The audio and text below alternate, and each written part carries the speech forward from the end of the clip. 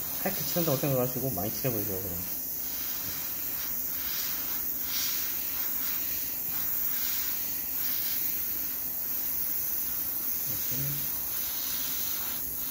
어, 좋아요, 좋아. 자연스럽게 그라데이션 보는 것 같아. 안 넣은 것 같은데 들어간 것 같아. 오케이, 오케이. 오케이,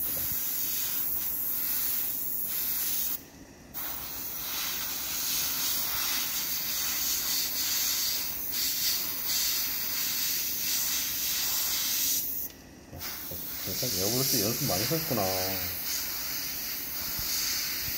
손 움직이는 게 보니까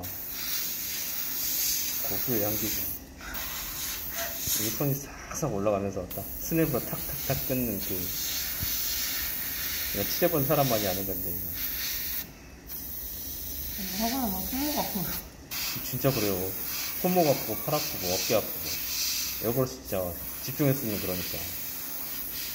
어 예쁘다. 화면빨 잘 나옵니다 아주.